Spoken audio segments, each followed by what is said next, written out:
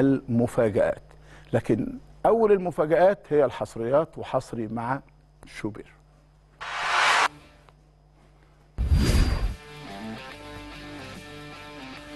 طيب الموضوع إنه الأهلي يضع آه، شعار آه، الفيفا والبطولات الثلاث بطولة القارات الثلاث على صدره حتى هذه اللحظة.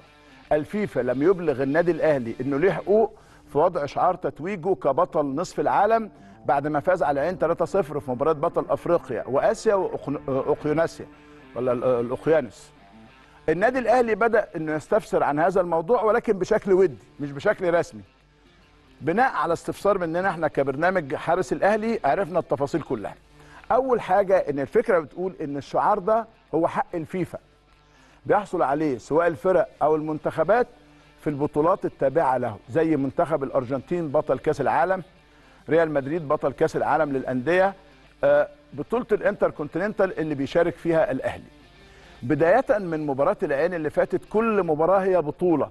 يعني البطولة اللي فاتت ال القارات الثلاث إحنا خدناها الحمد لله. الفيفا استحدثها عمل زي شكل نظامه بطولات السلة والبسبول الأمريكية الفيفا عايز يسوق أكتر لبطولتي. كأس العالم للأندية بنظامها الجديد اللي الأهلي هيشارك فيها ممثلا لإفريقيا في 2025 أو أحد ممثلي إفريقيا.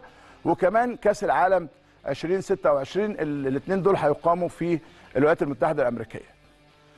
في النهارده آه، صورة تيشيرت كده انتشرت عبر مواقع التواصل الاجتماعي وعليها شعار للفيفا. ده ملوش علاقة من قريب أو من بعيد بالنادي الأهلي لكن ليه كلمة واحدة نقدر نقولها؟ إنك عالمي يا أهلي.